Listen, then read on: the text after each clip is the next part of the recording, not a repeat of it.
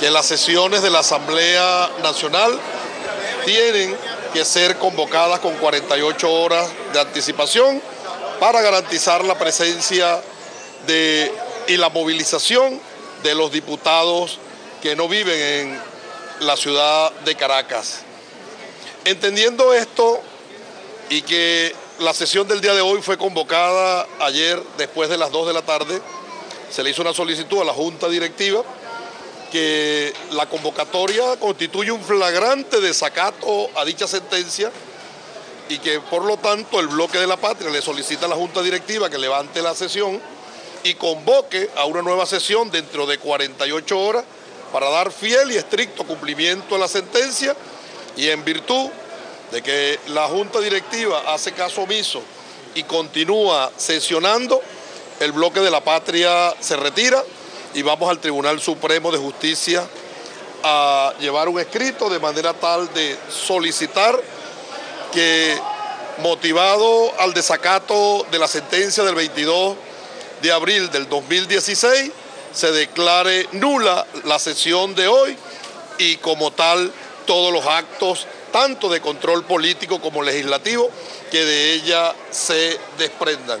El presidente de la Asamblea Nacional, en un ejercicio eh, ocioso de retórica leguleya, quiso remendar la plana cuando la misma constitución y la ley orgánica del Tribunal Supremo de Justicia le dan la discrecionalidad única a la sala constitucional de la revisión de las sentencias, pero que no sean de la sala constitucional. Y dice el artículo 3 de la ley orgánica del Tribunal Supremo de Justicia, el Tribunal Supremo de Justicia es el más alto tribunal de la República.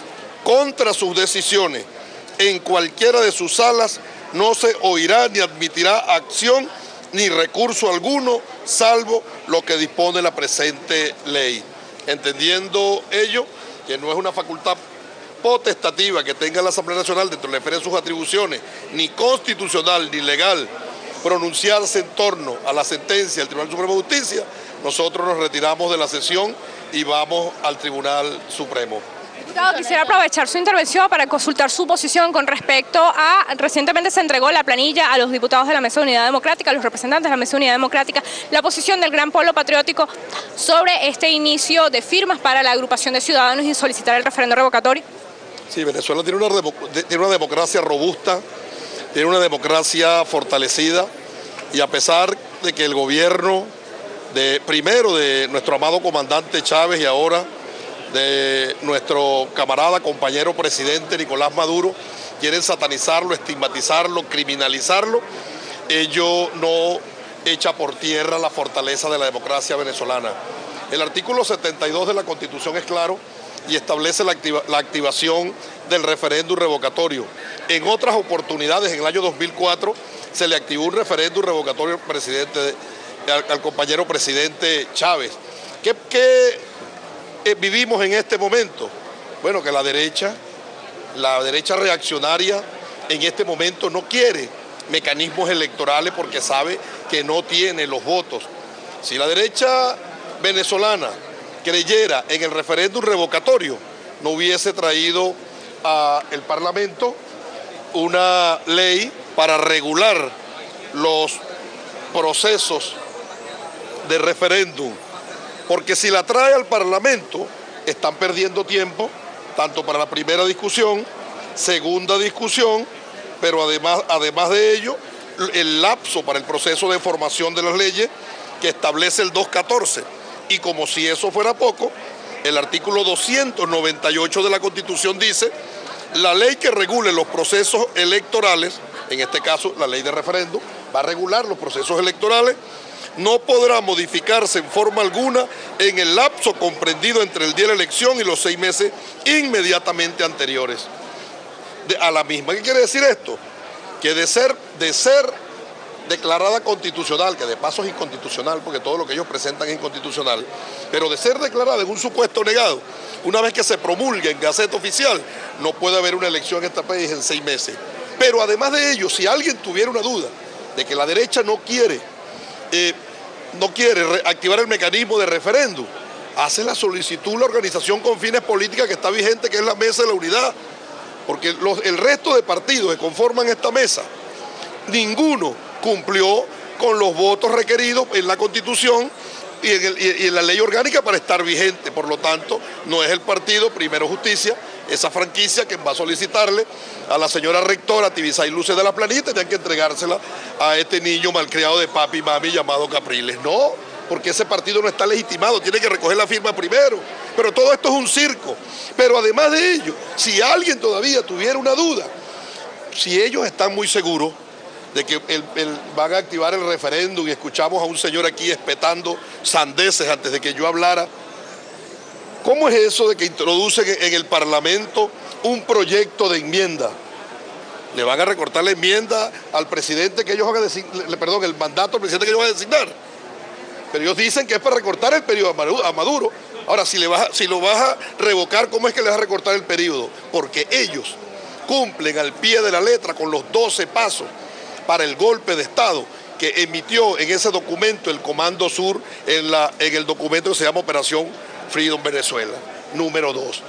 Ellos andan legislando y todo lo que haga contra, que contravenga la Constitución para decirle al mundo, no pudimos legislar porque el Tribunal Supremo de Justicia lo criminaliza y lo sataniza. El brazo político eh, judicial del partido de gobierno nos negó las leyes no tuvimos otra alternativa que irnos a la violencia. Váyanse de una vez a la calle y prepárense, eso, eso sí, no se vale pedir tiempo. Lo mismo creían Carmona y Fede Cámara del 2002. Lo mismo creían los militares de Altamira, que ya era el momento, que Chávez estaba caído. Lo mismo creía la gente del petróleo. Lo mismo creía Leopoldo López. Retrátese en ese espejo.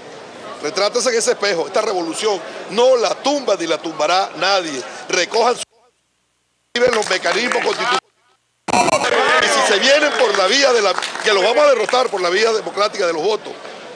Y pero si se vienen por la vía de la violencia, tenemos un pueblo y una Fuerza Armada y unos organismos de seguridad ciudadana que están prestos para la preservación de la paz interior de la República, para la preservación del orden interno y para la preservación de la vida armónica de los ciudadanos. Esta derecha anda en su juego de golpe de Estado, un golpe de Estado anunciado por el general primero John Kelly cuando estaba en el Comando Sur y ahora por el que le recibió el almirante Kurtik y ellos vienen cumpliendo su recetario. Esta Asamblea Nacional cumple un aborrecible y deleznable papel de constituirse en mascarón de proa de los enemigos históricos de los procesos de liberación de nuestro pueblo, constituirse en mascarón de proa del imperio norteamericano para ponerle las manos a las riquezas, que según ellos fueron dilapidadas porque se emplearon en el ascenso de los más pobres y los más humildes, en la mayoría, en la mejoría sustantiva de su calidad de vida y que ellos creen que cuando le pongan las manos a las grandes transnacionales, si se le está dando el uso racional que requieren.